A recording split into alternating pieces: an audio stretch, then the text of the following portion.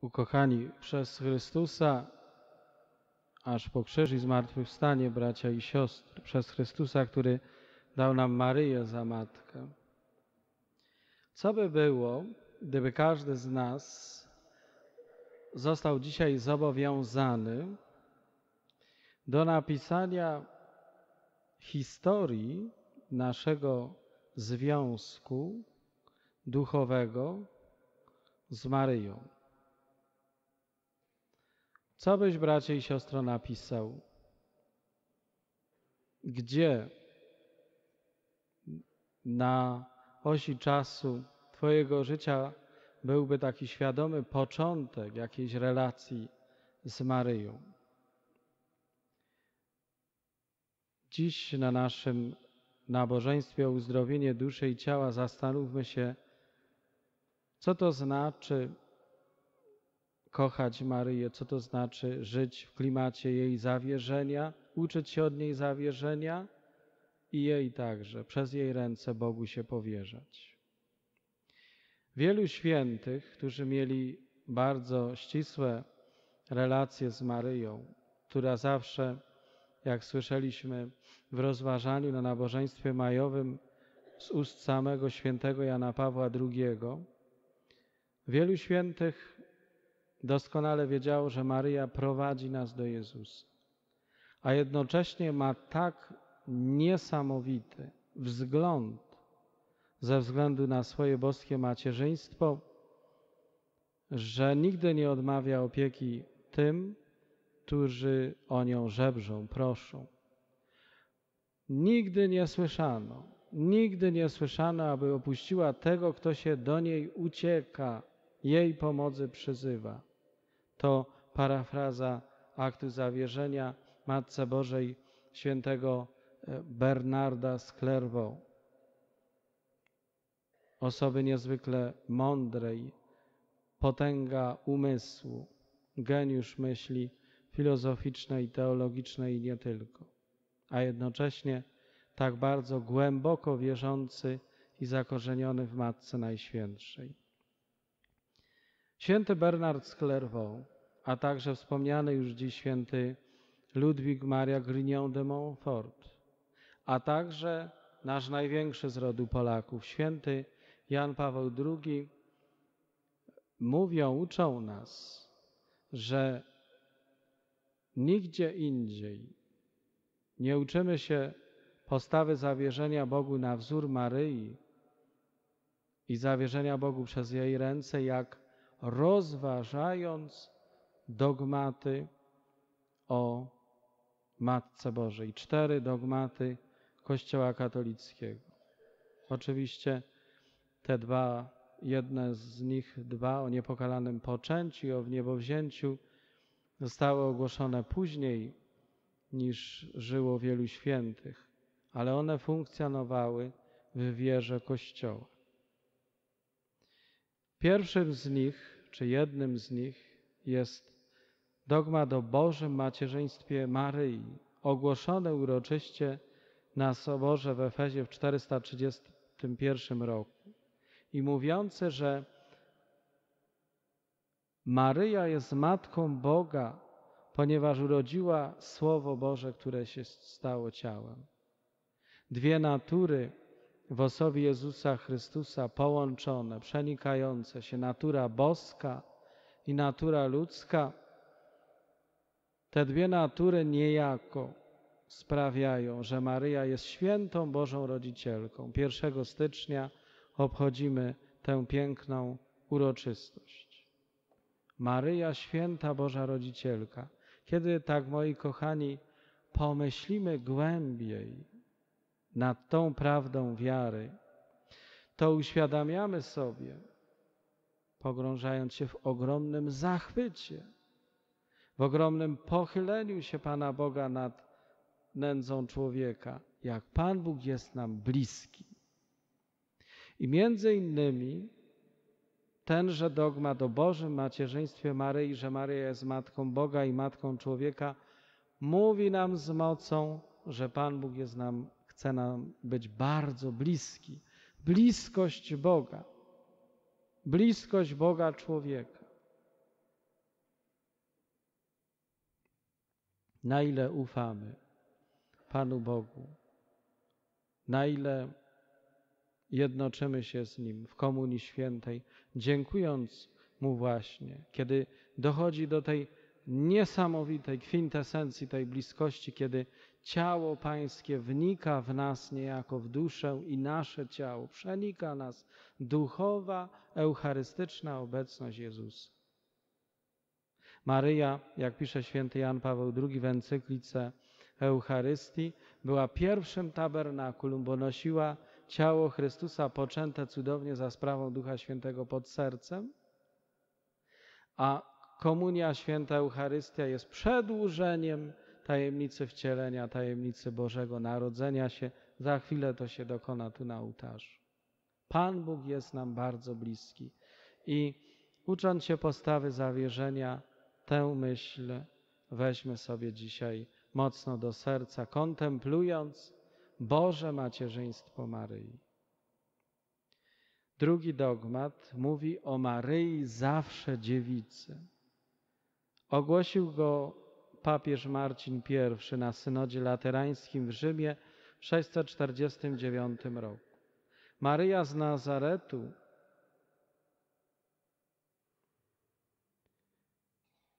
zachowała nienaruszone dziewictwo.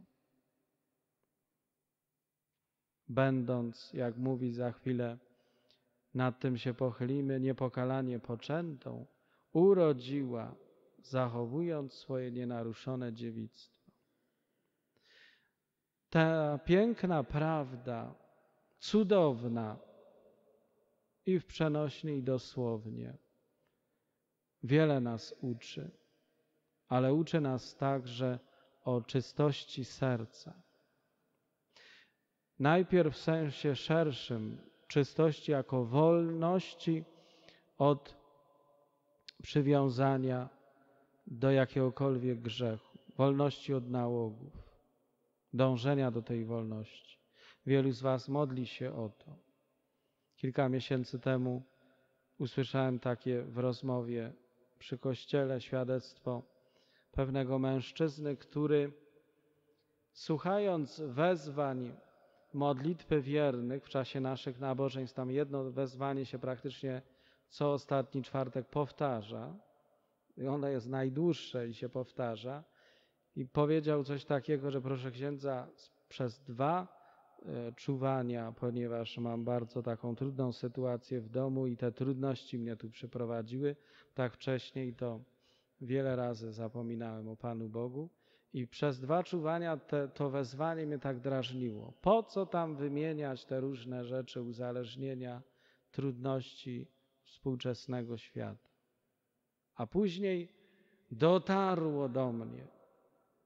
Duch Święty zadziałał, jak sam powiedział, że to jest apel do mojego serca o zerwanie z alkoholem, jasne, kategoryczne, zdecydowane, o wejście, o walkę o czystość, na drogę czystości. Tu wchodziła w grę, jak powiedział, antykoncepcja w małżeństwie, pornografia i samogwałt. To rzucenie nadmiernego oglądania telewizji, przesiadywania godzinami na internecie, a zaniedbywania swoich dzieci, swojej, swojej rodzinie, także niektórych swoich obowiązków związanych ze specyficzną pracą.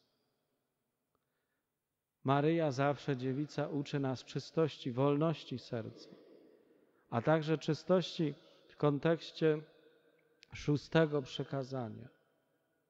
Moi kochani, żyjemy w takich czasach, gdzie panoszy się seksualizm choćby poprzez obraz medialny. Tak jak w internecie jest mnóstwo dobra, tak też jest mnóstwo zła. I trzeba mieć nam takie mądre myślenie, stałe, klarowne, jasne, utwierdzone, jak słyszeliśmy w komentarzu do czytań, że my musimy iść za głosem sumienia prawego i nie możemy liberalizować nauki Bożej, nauczania Kościoła. Nie możemy iść za ogromną falą, wręcz tsunami niektórych wątków, aspektów psychologii, psychoanalizy, które mówią, że choćby właśnie samogwałt to przecież jest ulga, odetchnięcie, to rozładowanie emocji. Wielu nauczycieli w szkołach, a nawet podstawowych, moi drodzy, mówi y, młodzieży, że to jest normalne. To nie jest normalne. To jest grzeszne. Podałem tylko jeden przykład, można by tu całe litanie rozwijać różnych wątków, które się współcześnie rozgrywają. I nie chodzi oczywiście o jakiś rygoryzm moralny, ale chodzi o jasne, proste zasady, które prowadzą do prawdziwej wolności serca. Nie może wejść na drogę czystości ten, kto się nie zaprzyjaźni duchowo serdecznej więzi z Maryją, niepokalaną zawsze dziewicą. Trzeci dogmat o Matce Bożej, który uczy nas postawy zawierzenia Bogu przez Maryję i z nią, to niepokalane poczęcie. Ogłoszone w 1854 roku przez Piusa IX, Najświętsza Maryja Panna mówi tenże dogmat w pierwszej chwili swego poczęcia za szczególną łaską i przywilejem Boga Wszechmogącego przez wzgląd na zasługi Jezusa Chrystusa, Zbawiciela rodzaju ludzkiego, została zachowana od wszelkiej zmazy winy pierworodnej. Niepokalana ze względu na to, że była matką Boga człowieka. Bóg, Duch Święty uczynił ją niepokalaną, kiedy się poczęła. Ta prawda wzywa nas między innymi do świętości. Do świętości gdziekolwiek jesteśmy. Pomyślmy o nas samych. Czy ten termin świętość, dążenie do świętości jest nam bliski? Bo Pan Bóg tego od nas oczekuje. Mówi się często, a nie przesadzajmy, gdzie tam jakim, ja tam świętym nie jestem, nie będę. Być może nie tym wyniesionym na ołtarze, ale jesteśmy powołani, zaproszeni do dążenia do świętości w różnej formie. Odczytujemy, rozeznajemy różne e, natchnienia Ducha Świętego. Nie marnujmy ich, bo Pan Bóg ciągle w danej sytuacji naszego życia różne nam je składa. I w tym kontekście, kiedy rozważamy dogmat o niepokalanym poczęciu Maryi, pomyślmy, jaką dla nas świętością i środkiem do świętości jest serce naszej wiary Jezus Chrystus obecny w Eucharystii. Jak my Go przyjmujemy? Czystość duszy, pobożność, przyklęknięcie, kiedy podchodzimy do Komunii Świętej.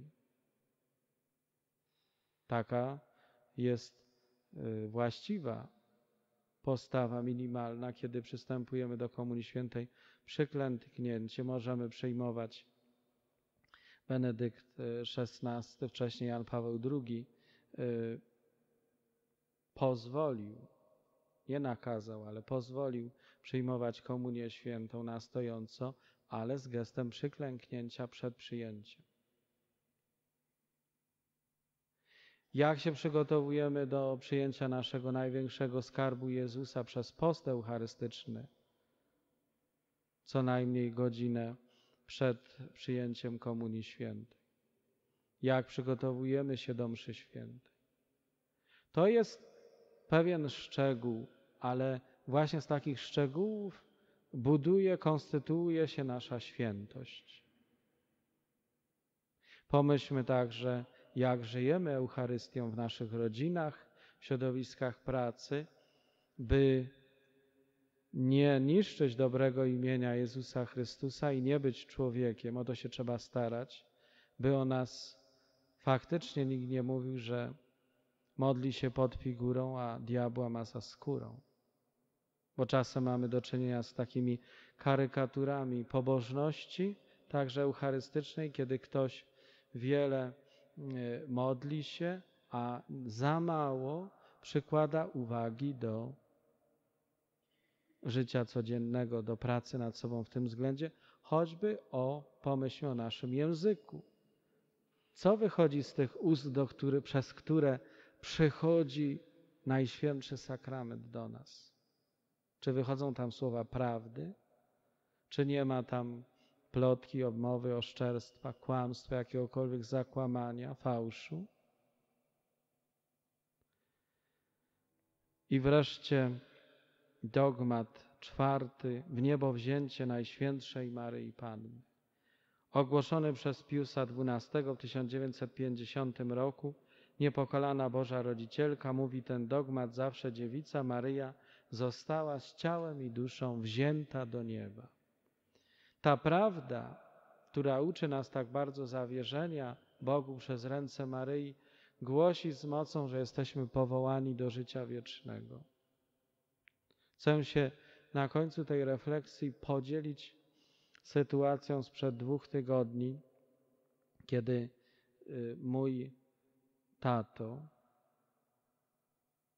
81-letni, mający jeszcze w miarę zdrowie, chociaż już y, szwankuje w różnym wymiarze w tym wieku, po bardzo mocno spracowanym życiu i trudnych czasach,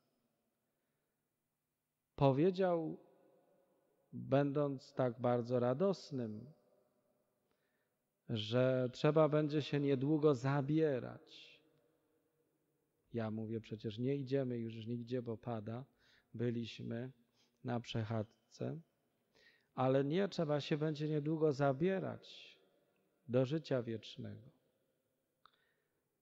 Ja nie wiem, czy to było jakieś e, przynaglenie, czy coś, ale później rozmawialiśmy na ten temat tak bardzo spokojnie i sam e, zbudowałem się, jak również od wielu ludzi innych, takim prostym przeświadczeniem, że przecież dążymy do życia wiecznego.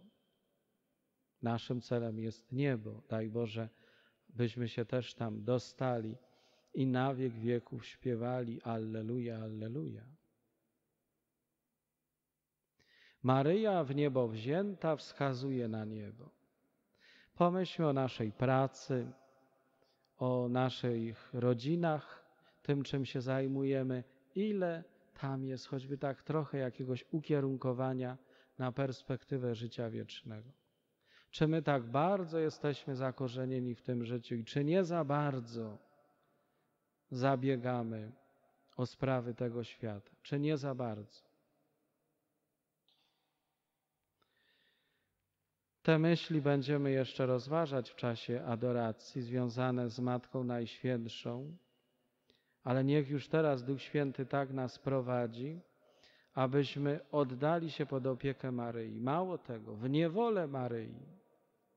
Tego nas uczy sługa Boży kardynał Stefan Wyszyński, który w trudnych dla siebie czasach, uwięziony przez komunistów, napisał bardzo piękny, krótki akt zawierzenia się Matce Bożej, oddania się jej w niewolę. Siedząc, idźmy myślą, sercem, całą naszą duszą i ciałem za tymi słowami, zawierzając się Matce Bożej.